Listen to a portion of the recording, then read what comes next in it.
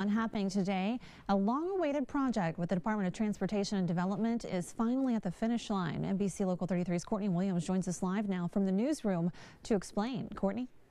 Hey, good morning to you guys. Well, the wait is now over. That long-awaited project of the widening of I-10 to LA-73 is now complete.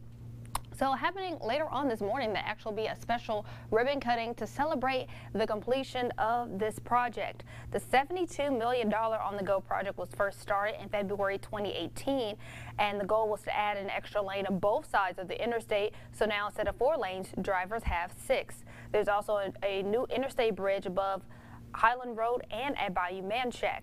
DOTD spokesperson Rodney Mallett says this project won't completely eliminate traffic flowing through this through those areas, but is estimated to shave off at least 15 minutes of drive time during peak hours, which is in the morning and afternoon for those who may live on the outskirts making their way into or from Baton Rouge. He says this is great not only for traffic, but also from an economical standpoint. Less traffic means more people can pass through the city.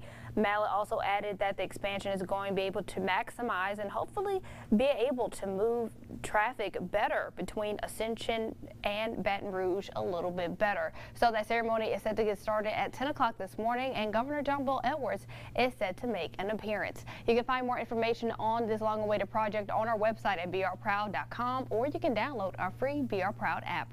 Reporting live in the newsroom, Courtney Williams, NBC Local 33 News.